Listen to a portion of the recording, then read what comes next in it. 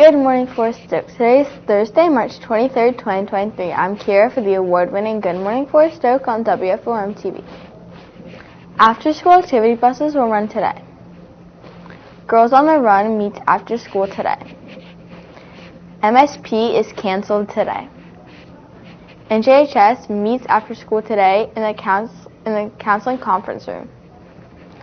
The Arabic Club will not meet the whole month of Ramadan.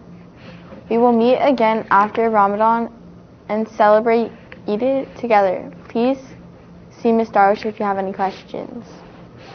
The SGA Spring Dance is tomorrow. Permission slips and tickets will be available in the cafeteria. Fridays are Cougar Pride Days. Tomorrow wear your Forest Oak gear, anything black and gold, and show your school spirit. It's March Madness time. Each day in March, we will have a math challenge. Drop your answers in the bin in the media center for a chance to win an Amazon gift card. The more you play, the more chances you have. Today's question is continue this sequence 6, 10, 14, 15, 21, 22, 26, 33, 34, 35.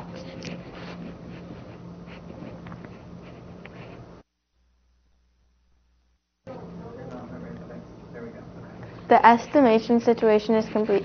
Congratulations to Christine C. in the 8th grade for the closest estimate without going over. Christine's estimate was 435, 53, and the actual total was six, I mean, 467. Christine, please come to the media center to pick up your prize. Happy birthday to Sarah M. from Jazz, Shia, and Daniela.